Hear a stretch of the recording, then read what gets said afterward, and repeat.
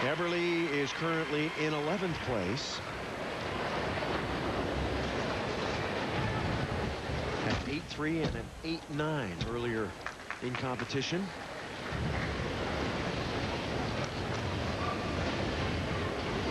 A couple of things to watch for in the balance beam routines. The gymnasts have to show an acrobatic series of two or more elements.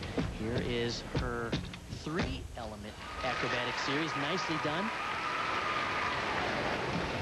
The judges also require the gymnast to show a series of dance elements, two or more. Another beautiful gymnastics acrobatic series, which is also a requirement.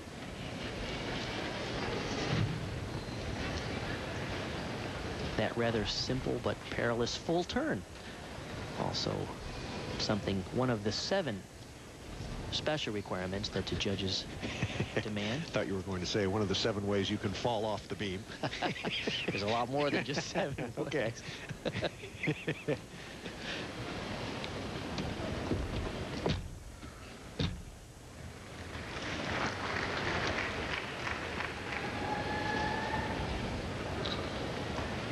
This is one of her favorite events. The other is the floor. So far, pretty clean routine for her. Made most of her combinations. Good double.